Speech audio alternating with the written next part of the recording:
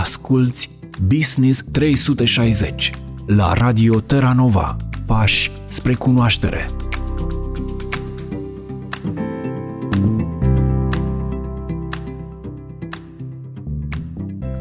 Bună dimineața și bine ați venit, dragi ascultători, la o nouă emisiune Business 360, unde descoperim 360 de grade ale provocărilor în afacere, alături de cel sau cea care crește împreună cu ea, și anume antreprenorul. Azi avem un invitat uh, special pe Magor Cibi, care a venit în vizită de la București, partener Trend Consult și uh, fondator Think Outside the Box uh, pentru cei care ați citit și cu multă experiență în zona de management și politică într-o viață anterioară, ca să spunem așa. Bine ai venit, Magor! Bine te-am găsit! Cum este să conduci pentru alții și după aia să treci la partea asta de a conduce o afacere proprie sau un, un proiect propriu? Nu știu ce să spun despre a conduce pentru alții, că niciodată n-am perceput faptul că lucram într-o organizație că am condus pentru alții. Adică mie mi se pare că dacă nu reușești să faci ca acea cauză pentru care lucrezi, sau acea, acel business pentru care lucrezi să fie o parte din tine, nu reușești să te identifici, este foarte greu să te motivezi și este foarte greu să generezi performanță. Și tocmai de aceea de foarte multe ori și spun antreprenorilor să aibă grijă cu mercenarii, pentru că lipsa de conexiune cu businessul tău poate să genereze lipsă de înțelegere a businessului, poate să, înțelegi, să, să, să genereze o lipsă de conexiune și pe termen lung poate să genereze o lipsă de performanță. Mulțumesc. Edificator aspectul ăsta. Ce facem când ni se pare că avem oameni care se comportă ca mercenari? Dacă tot ai adus vorba. Dacă e să ne uităm cum arată organizațiile în acest moment, în momentul în care Gallup pune întrebarea în toate organizațiile globale cât de clar îți este ție ce se așteaptă de la tine la locul de muncă, doar 48% dintre oameni spune că înțeleg așteptările angajatorului meu. Asta înseamnă că, în general, în organizații, peste jumătate din oamenii nu are habar față de așteptările angajatorului. Și atunci avem o mare problemă, pentru că dacă e să ne uităm, în general organizațiile mari se preocupă foarte mult ca să genereze măcar ideea de claritate. Asta înseamnă că o bună parte din această necunoaștere sau această lipsă de claritate trebuie să vină din organizații mai mici. Și asta înseamnă că dacă oamenii nu știu care e așteptarea față de ei, este imposibil pentru ei să performeze și să genereze acel impact la care ne așteptăm doar că noi de foarte multe ori ne gândim, suntem obsedați de cifre, suntem, simțim presiunea de a livra, de a ține businessul în viață și în felul ăsta cumva generăm o presiune care nu ne duce mai aproape de ceea ce vrem să generăm, ceea ce vrem să atingem, ci mai degrabă ne îndepărtează. Mi se pare că unul dintre lucrurile pe care ar trebui să practicăm, să încercăm să, să, să înțelegem, este că nu neapărat presiunea este cel mai bun predictor al succesului. Adică în loc să generăm o pasiune, o presiune foarte mare asupra oamenilor, mai degrabă ar trebui să ne preocupăm să generăm cât mai multă claritate ca oamenii să înțeleagă așteptările noastre, să înțeleagă povestea noastră, să înțeleagă fricile noastre și în felul ăsta ei pot să se adapteze atât la ce avem noi în cap, la visul nostru, cât și la toate uh, așteptările și fricile noastre ca în felul ăsta să poate să ne completeze în ceea ce fac ei în fiecare zi. Deci, practic, uh, avem mai mult de jumate din, din oameni care nu înțeleg ce au de făcut, care nici măcar nu pot să spun că ar fi mercenari, adică nu vin acolo pentru că sunt plătiți să facă o treabă, ci vin acolo sperând să nu fie prinși că nu fac treabă? Păi când uh, am studiat și, na, asta e un lucru, am studiat organizațiile militare sau sistemele militare pentru că mi se pare că în leadership militar marja de eroare este foarte aproape de zero. Adică când faci o greșeală, șansa să plătești realmente este una foarte mare. E unul să greșești o decizie în business și nu știu, să pierzi un deal sau, nu știu, să pierzi niște locuri de muncă sau așa mai departe și altceva este să pierzi vieți omenești. Tocmai de aceea performanța de leadership este una foarte, foarte ridicată în zonele militare. Și acolo ce am observat, cel mai important element în leadership militar este intenția comandantului. Intenția comandantului înseamnă când intrăm într-o bătălie, când intrăm într-o misiune, trebuie să ne fie foarte, foarte clar ce se așteaptă de la noi. Trebuie să fie foarte clar care, pot, care sunt potențialele amenințări. Trebuie să înțelegem de ce suntem acolo. Asta înseamnă că rolul unui lider militar în primul și în primul rând este generarea clarității. Eu dacă aș putea să dau un sfat unui antreprenor, indiferent dacă e la început uh, de drum sau are deja experiență, verifică claritatea în organizația ta. Dacă nu faci nimic altceva, generează claritatea care să permite performanței să existe. Pentru că fără această claritate ne este foarte greu să mergem în orice direcție. Ne este foarte greu să construim pe orice. Pentru că nivelul de claritate determină până la urmă în ce direcție ne îndreptăm sau nu ne îndreptăm. De foarte multe ori nivelul de clar, adică lipsa de claritate generează nici măcar să nu putem să evaluăm care om este performant și care om nu este performant pentru că este o ceață completă la noi în organizație și e foarte greu, efectiv, și noi să definim așteptările. Iarăși, fără claritate, nu știm care sunt oamenii care ar trebui să fie în compania noastră și care sunt care, uh, care n-ar trebui să fie. Pentru că unul dintre predictorii de succes este iarăși ce se întâmplă în momentul în care oamenii care lucrează la noi în organizație sau în companie încalcă valorile companiei. Fără claritate, noi nici nu știm care sunt valorile care sunt acele linii care nu se calcă. Și atunci, în momentul în care luăm decizii drastice în management sau în leadership, ele par arbitrare mai degrabă decât unele justificate. Dacă ne este foarte clar care sunt valorile după care ne ghidăm, de exemplu, într-un business spunem, nu ne abatem de la etică. Adică asta înseamnă că nu dăm bani, de exemplu, să obținem contracte. Nu facem, adică nu, nu, nu, nu suntem agresivi sau whatever, ce definim. În momentul în care aceste lucruri sunt bine definite și un om încalcă în mod regulat, noi putem să luăm o măsură pentru că toată lumea o să înțeleagă în organizație de ce facem acest lucru. În lipsa clarității, oamenii o să înțeleagă că, bă, ăla a fost afară, da, a fost dat afară, nu prea știm de ce, a făcut o grămadă de lucruri, nu știm care e comportamentul care a generat, tocmai de aceea mai degrabă o să fim anxioși, mai degrabă o să fim speriați, mai degrabă o să ne uităm la ce să nu facem decât la ce facem, pentru că nu înțelegem ce s-a întâmplat. Și atunci treaba antreprenorului este ca întotdeauna să garanteze că oamenii înțeleg ce se întâmplă în interiorul companiei, ca ei să poate să se conecteze atât la ce vrem să obținem, cât la și ce se întâmplă în fiecare zi în organizație. Ce facem cu uh, diferența asta dintre zona militară și zona de companie, unde noi practic ducem un fel de război de uzură. Dacă în zona militară știi că intri într-o bătălie care are un început și un sfârșit, în zona de business, ă, cumva e o bătălie continuă și nu prea sunt uh, acele pauze și atunci cumva toată lumea o lasă mai, uh, mai încet ca să o ducă pe un, pe un termen mai lung. Aici e o prost, prostie din punctul meu de vedere. Noi am inventat la un moment dat în management ideea de burning platform. Ideea de burning platform vine de la o platformă petrolieră, cum spune și numele, din Marea Nordică, în, pe, pe apele teritoriale ale Norvegiei, unde efectiv o platformă petrolieră a luat foc și erau mai mulți oameni care aveau de luat o decizie să sară în ocean, care oceanul era învolburat, iar șansa de supraviețuire era foarte, foarte scăzută, sau să rămână pe platformă și să moară sigur.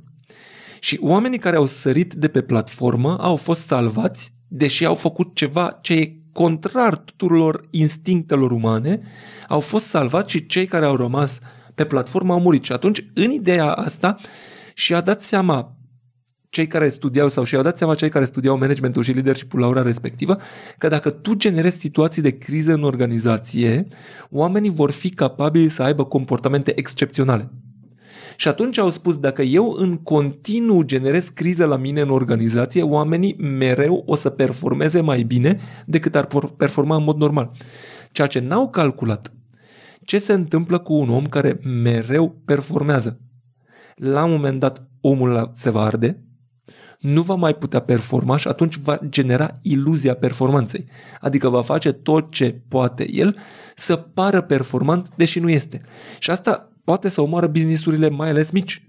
Adică tu când ai în jurul tău niște oameni care se fac că lucrează și ai niște oameni pe care tu pui presiune în continuare, la un moment dat o să ajungi ca nimeni să nu mai performeze. La un moment dat o să ajungi ca uh, businessul tău să moară. Tocmai de aceea și în armată. Bătălia este bătălie, iar între bătălii ne antrenăm și ne pregătim pentru următoarea bătălie. Dar intensitatea e drastic diferită. Și în cazul unei companii când e o perioadă de criză, este normal să punem presiune de, pe oameni, este normal să luăm noi deciziile, este normal să facem eforturi supraumane. Dar dacă așteptarea noastră de la oameni este să avem în continuu eforturi supraumane, o să avem o organizație total neperformantă care pe termen lung o să dea faliment.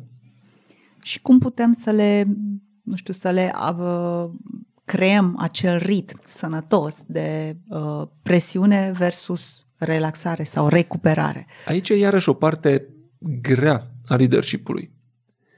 Majoritatea oamenilor nu poate să se regleze singur. Pentru că noi în toată viața noastră am auzit că succesul vine cu suferință, cu multă muncă, cu trudă și așa mai departe, majoritatea oamenilor nu învață de-a lungul vieții lui când să se oprească.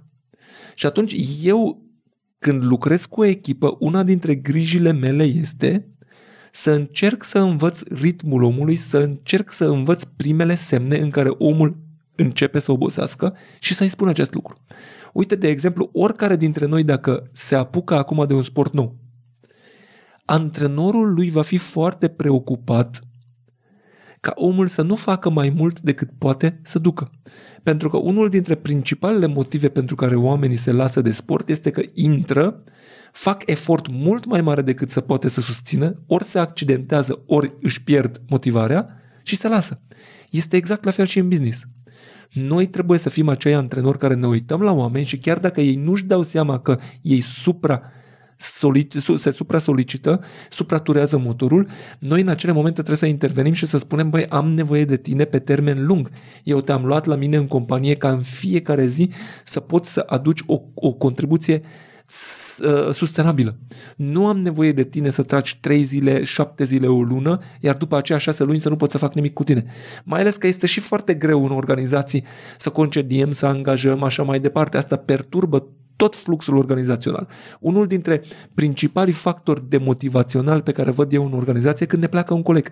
Indiferent dacă colegul își dă el demisia, găsește un loc mai bun de muncă sau este dat afară. Iar dacă tu ai o echipă din care în mod constant pleacă oameni, performanța acelei echipe întotdeauna va fi una scăzută. Așa că dacă vrem să avem performanță, trebuie să ne uităm la oameni, trebuie să ne dăm seama de ritmurile lor și trebuie să îi ajutăm prin dialog constant să-și regleze ritmul ca împreună să putem să generăm rezultate la care visăm în fiecare zi. Și cum poate un antreprenor care își alege singur care cele 14 ore din zi să le lucreze să devină un antrenor uh, pentru echilibru și sănătate pentru, pentru oamenii lui? Unul dintre greșelile antreprenoriale, din punctul meu de vedere, că nu pot să zic greșeală absolută, pe care văd în fiecare zi aproape, este că antreprenorul crede că este singur. E businessul meu, eu știu cum trebuie să fac, așa mai departe, de mine depinde totul, greutatea e doar, e doar pe umerii mei, performanța depinde de mine și așa mai departe. Modelul mai sănătos al antreprenoriatului este a modelul acelor antreprenori care împart businessul care spun, băi, nu mă descurc la marketing. Păi trebuie să aduc pe cineva pe marketing, dar pentru un om valoros trebuie să dau niște bani semnificativi. Și în loc să dau foarte mulți bani, dau mai puțini bani, dar dau o parte din business. Și în felul ăsta omul ăla o să spună, băi, și compania mea o să trag la fel de tare ca antreprenorul și mai și împărțim grija între noi, dar și bucuria între noi. După aceea, de ce, ai mai, de ce mai ai nevoie? Poate de un director de sales.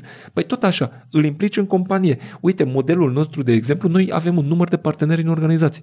Și fiecare om care generează valoare în mod constant pentru compania noastră, la un moment dat va fi cooptat să devină partener, pentru că în felul ăsta ne asigurăm că nu pierdem cei mai valoroși oameni și ne asigurăm că oamenii ăia sunt conectați de companie și trag la fel de mult ca restul partenerilor. Și asta e un model, din punctul meu de vedere, sustenabil și fain, pentru că în momentul în care împarți compania, împarți grijă. Dacă tu ai impresia că totul e al tău, totul e pe umerii tăi și așa mai departe, într-o zi te vei trezi în imposibilitatea de a mai face ceva. Și asta e un moment greu de dus pentru orice om, indiferent cât de puternic sau cât de slab să fie. Asta cu împărțitul grijei versus delegatul grijei, am, uh, am avut experiența în care am ascultat un uh, antreprenor spunând să nu dormiți voi, de unde facem rost de bani de salarii. Uh, cum poți să transferi responsabilitatea sau să împarți responsabilitatea într-un mod mai uman? Sigur nu așa. Pentru că dacă tu spui că de tine depinde salariul meu? Răspunsul meu va fi, păi atunci mă duc într-un loc unde nu de mine depinde asta. Adică eu știu ce am de oferit, vreau să am condițiile în care pot să ofer ce am de oferit, nu vreau să am grijă extra, că nu e treaba mea. Și asta trebuie să ne fie foarte clar, că nu putem să transferăm anumite lucruri la oameni. Uh, cum putem să facem ca oamenii să fie implicați? Păi, unu, trebuie să acordăm încredere și trebuie să împărțim ce avem și noi. Adică tu nu poți să ții totul pentru tine profitul, bucuriile, succesul, recunoștința și tot, tot, tot și să te aștepți ca oamenii să fie conectați de businessul tău. Păi tu, dacă nu dai nimic, oamenii de ce ar da înapoi? În viață, și asta uite, dacă ne uităm la toate tradițiile, la toate poveștile, la tot, tot, tot ce a învățat neamul nostru în mii de ani, ce învățăm din toate poveștile? Ca să primești trebuie să dai întâi când dai bine celorlalți, o să primești bine înapoi. Și asta nu este o prostie sau nu este ceva aspirațional utopic. Asta e o înțelepciune populară bazată pe mii de ani de experiență de conviețuire între noi. Doar că pe care tot încercăm să invalidăm. Și mai ales au și venit modelele noi, de exemplu modelul american și așa mai departe, care spune că individual putem să ne descurcăm în viață. Tot ce am trăit noi ne arată că nu putem să ne descurcăm individual și chiar dacă ne descurcăm, de exemplu, din punct de vedere material, suntem singuri foarte nefericiți. Asta e viața pe care ne-o dorim. Dacă nu, atunci hai să învățăm cum să împărțim și nu, nu doar succesul și povara. Pentru că iarăși antreprenorul are impresia că trebuie să țină toată greutatea pe umerii lui. Nu trebuie. Oamenii vor să ducă o bucată, pentru că dacă tu primești o bucată din greutate, ai și această satisfacție că reușești să treci peste greutatea respectivă. Și asta îți dă o satisfacție, asta îți dă o conexiune. Dar dacă tu nu te arăți în fața oamenilor tăi, nu să știi nici măcar despre tine destule lucruri. Ce facem când uh, poate avem deja o, o istorie cu oamenii noștri și e greu uh, pasul acela de a deveni uh, transparenți, de a deveni vulnerabili despre cifre, despre responsabilități, despre bucurii. De unde începem? Noi credem că vulnerabilitatea se leagă de disconfort. Nu trebuie neapărat să fie așa. Adică asta înseamnă că împart cu tine niște informații pe care nu le-aș împărți în mod normal indiferent dacă e despre cum mă simt, despre cum arată cifrele noastre, despre care sunt scenariile din capul meu și așa mai departe. Doar că partea bună este că creierul nostru este creat să genereze scenarii negative. Noi în momentul în care împărțim greutatea cu ceilalți, întotdeauna vom afla că ce e în creierul nostru e mai negru decât realitatea. Și atunci vulnerabilitatea nu este vulnerabilitate în sensul adevărat al cuvântului, ci este șansa noastră de a verifica că acele decizii sau idei care ne țin pe noi treji noaptea sunt reale sau nu sunt reale. Și vă spun, 85% dintre cazuri o să aflăm că nu sunt reale. Când începem să vorbim cu oamenii despre fricile noastre, aflăm că, bă, multe dintre fricile noastre sunt total nejustificate. Eu văd antreprenori, în, în multe zone am văzut antreprenori cu milioane de euro pe cont, cu firme care funcționau și el în capul lui rula ce dacă copiii mei nu o să aibă ce să mănânce? Și stăteam și mă uitam la el și cum ai putea să ajungi? Care este acel scenariu? Cam ce fel de decizie ar trebui să iei ca să ajungi acolo? Practic, e imposibil. Adică el trebuie să se străduie, să facă o strategie ca să ajungă acolo. Trebuie să arunce cu banii pe fereastră. Și asta înseamnă de a avea uh, idei nesustenabile, nocive în capul tău. Dacă tu nu te conectezi la oamenii din organizația ta, tu nu poți să desfințezi ideile astea. Și în general, mai ales în antreprenoriat, presiunea nu vine nici de la piață, nici de la oameni, nici măcar de la cifre. Presiunea ta vine de la tine. Pentru că ai impresia că ai putea să faci mai mult și nu reușești. Și e corect, nu reușești pentru că ții totul pentru tine. Începi să împarți cu cei din jurul tău și o să vezi că o să reușești să faci mult mai multe decât ai putea să-ți imaginezi acum că faci. Și de unde începem această împărțeală? Eu aș începe de la discuții. Adică eu dacă sunt antreprenor și observ că sunt niște oameni care stau deja de o perioadă de timp lângă mine, prima întrebare pe care le-aș pune, bă, de ce ai ales să stai lângă mine? Bă, uite câte opțiuni există pe piață, uite în câte lucruri, în câte moduri ai fi putut să contribui, de ce ești lângă mine? Pentru că în felul ăsta vom afla niște lucruri bune despre noi, pe care să putem să... să, să și după aceea putem să în, în, întrebăm și cum crezi că am putea să facem mai bine împreună. Și iarăși o să vină niște idei la care noi nu ne gândim. Și dacă începem să cultivăm niște relații unul la unul cu oamenii în felul ăsta, nu numai că o să ne simțim bine, dar o să aflăm de la niște, uh, de niște idei care să ne îmbunătățească în mod drastic performanța. Uite-te, de exemplu, mulți oameni îmi spun, bă, dar în producție nu e așa. În fabrica Toyota și de aceea Toyota a putut să ajungă unde a ajuns, a existat un buton pe care orice angajat putea să apese în momentul în care îi se părea acelui angajat că se poate face mai bine ceva cum era făcut până atunci.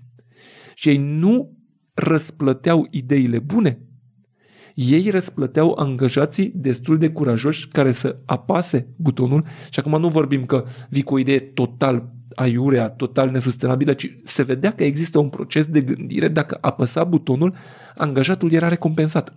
Am fost la Brașov la o companie foarte mare din România, din producție, care avea exact acest sistem implementat în România. Pentru că ei n-au plecat de la ideea că de aia sunt eu manager aici, pentru de aia am făcut atâtea studii ca să spun eu tuturor ce să facă, ci au plecat de la ideea că orice om care lucrează la mine în fabrică de luni sau de ani de zile s-ar putea să vadă niște îmbunătățiri de procese sau de comportamente. Și în felul ăsta dai șansa fiecărui om să gândească și să contribuie. Doar șansa de a contribui din partea unui om crește deja conexiunea lui cu compania și dorința lui de a, face ceva pentru binele companiei. Mulțumim frumos uh, pentru această imagine. Deci să discutăm cu oamenii, să le transmitem ideea, intenția managerului, intenția antreprenorului, pentru ca ei să înțeleagă uh, de ce sunt acolo și ce anume se dorește de la ei și uh, împreună cu ei putem face mult mai mult decât singur. Magor, dacă oamenii, ascultătorii vor să te găsească, uh, unde pot să dea, să dea de tine? Dincolo de a citi cartea, poate? Păi dacă sunt cumva pe LinkedIn, poate să, mă, să ne, putem să ne conectăm pe LinkedIn.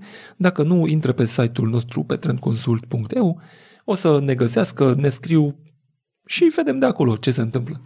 Și cartea pe care am menționat, Bătăliile care contează, le găsiți în biblioteci, librării. Mulțumim mult că ne-ai acceptat invitația. Mă bucur că am fost aici. Dragi ascultători, aici se încheie emisiunea Business 360. Vă mulțumim că ne-ați fost alături. O săptămână cu creștere tuturor!